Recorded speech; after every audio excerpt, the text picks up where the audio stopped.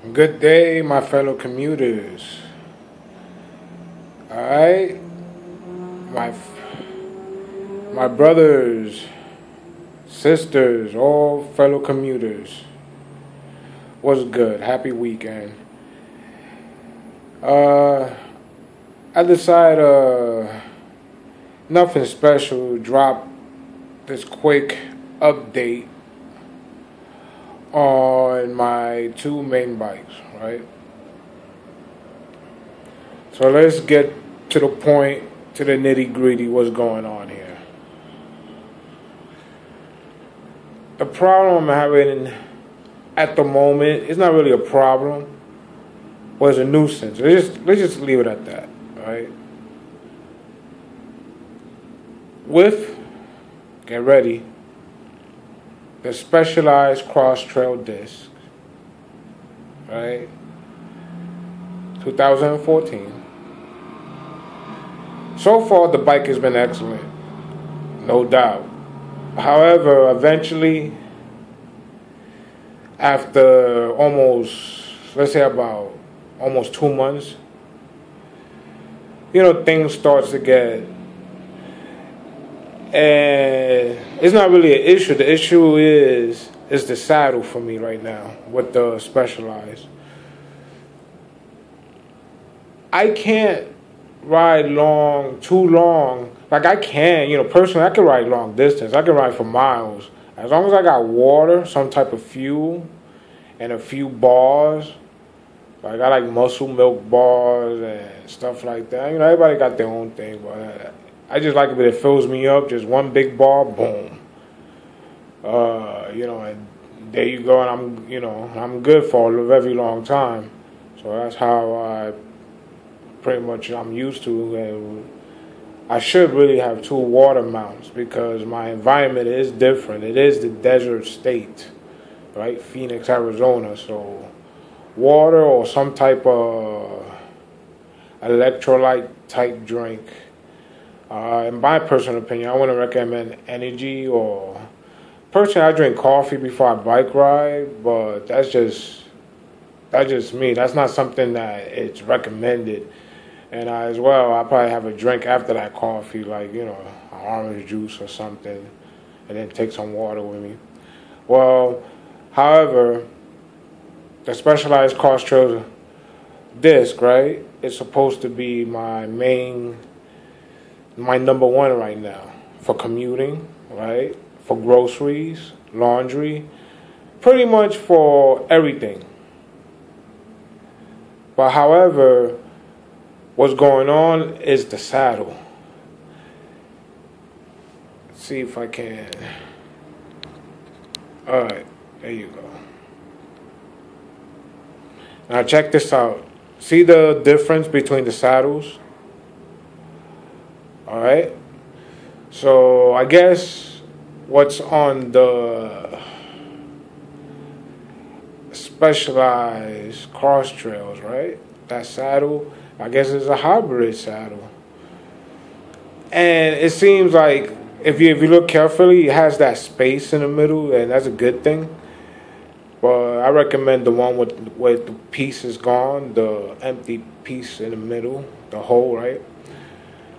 Uh, it was decent after the first few weeks, but now, like, if you do, like, let's say if you're planning to do a couple of miles, you start feeling it on the. So eventually, now you know that's the saddle it comes with, and so eventually, you're gonna have to change it. So I already see that I'm gonna have to change the saddle eventually, and it's not gonna be time. It's not gonna be done anytime soon. So you know, still life. Still gotta do put money on the other things in life. So, anyways, uh, well, I appreciate the Fuji saddle so far for the last couple of days.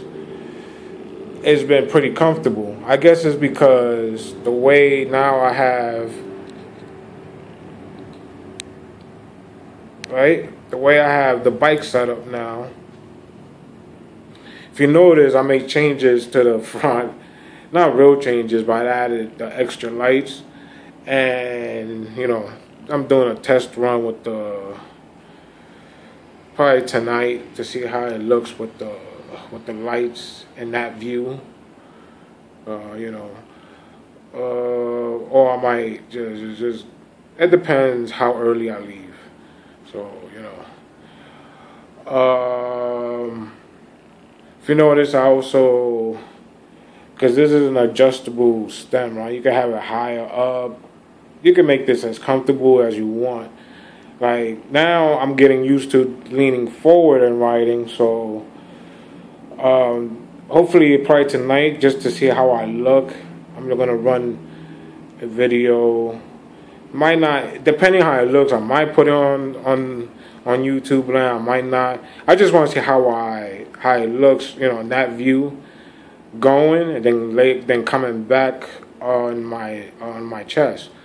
So. Um, then whole so far I've written it. I already tested, you know, without recording. It's just a ride around. You know, when you do adjustments, you got to, of course, you know. So use the Allen keys and stuff. So I adjusted the neck, made it give it more of a straighter. It's not really.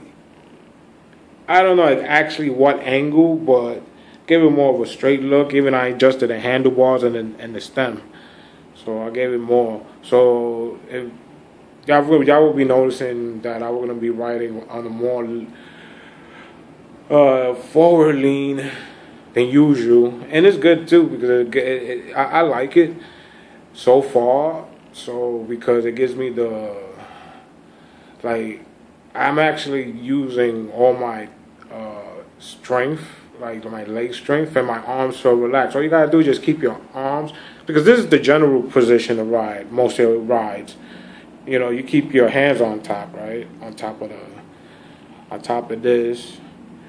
Um, your drops is for descending and speed, right? Down here, if I'm not mistaken, and leave a comment if I'm if I made a mistake. And up here is really more for slowing down if you're doing like a slow cruise mode or or um, doing a climb. So, but your main ride is usually this. I know that for sure. You know, I commute a lot. I know, and you know, years. and I used to be a messenger, and I used to use a road bike as well. So I'm getting back into riding a road bike again, especially the one in this caliber, uh, a Fuji newest uh, 3.0, uh, 2010 model, and it still runs fine. Like, and of course, with the light uh, carbon fork and alloy handlebars, you know, it's pretty much uh, the back is heavy and the front is light. So it's pretty much for me is balanced out for a nice commute, city commuter's bike. Um, anything above that is not gonna happen. So my only thing is my my con. Let's start, start with the cons, right? That in my commutes, I'm gonna have to probably be either carrying I'm I'm, I'm backpack because I'm not adding anything to the Fuji. I'm definitely not. That's not gonna happen. All right, I'm not adding no real rags, no fenders, no anything. Just lights maybe and a water mount. Just that's that's about it. Two on one, and it's gonna be pretty reasonably light. All right. Uh, oh, if you notice, uh, I took off the pedals from the Crosstrails and put it on on the Specialized. I mean, yeah, I mean, excuse me, on the Fuji. So I adjusted the straps to my liking, made it more tighter.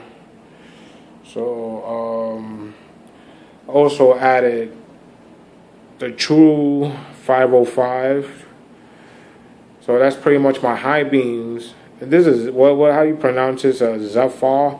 So it's a cheap light, but it works pretty well. You can get that at Walmart or any bike store. It's like this is like the see me like, hey, I'm here, don't hit me, I'm here. So, you know, and of course y'all know what this is, the cam. So I'm gonna, and you know, I just use the extra mount, but I don't feel confident it's gonna stay on because of the I know the terrain already. So I just for now wrap the bungee around it just to see if it's gonna, you know so most likely I know it's gonna get some vibration action there.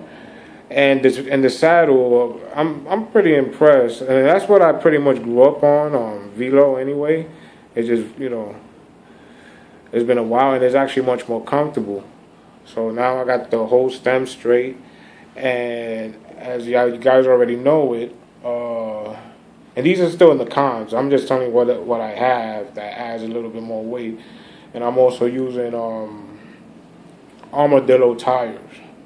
So backpack, U-locks, it could be from one to from three. I'm, I, I may be taking, and I got my helm.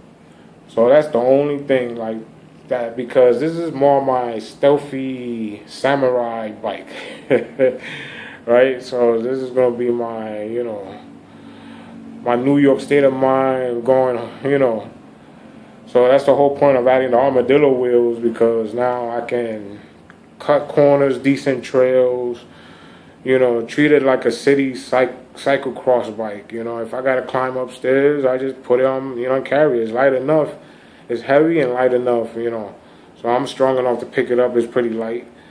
Uh, so that's pretty much the deal. What's going on now with my update on on the newest 3.0 Fuji.